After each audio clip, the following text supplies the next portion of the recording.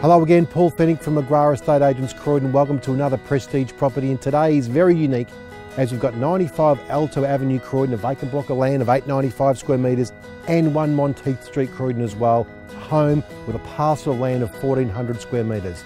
Let's go and take a look.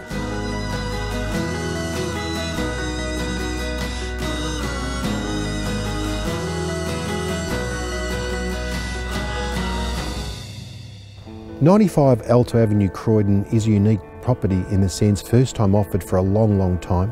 It's a large parcel of land in a, arguably the best street in Croydon, sizable, established gardens, level block and north facing. So all of these things attribute to the ideal setting to build your dream home for the future.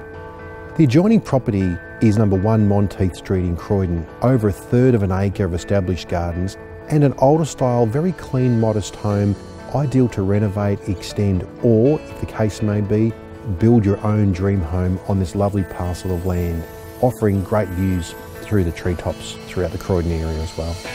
What I really love about the property, the amazing established gardens, and also the fact you have an Alto Avenue address.